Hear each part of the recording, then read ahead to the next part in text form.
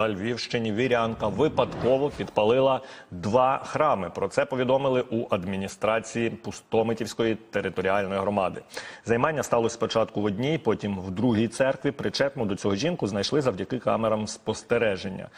Це місцева мешканка виявилася, яка запевнила, що просто поставила свічки і не мала намірів підпалювати приміщення. Вона перепросила в настоятелів храму і пообіцяла відшкодувати збитки.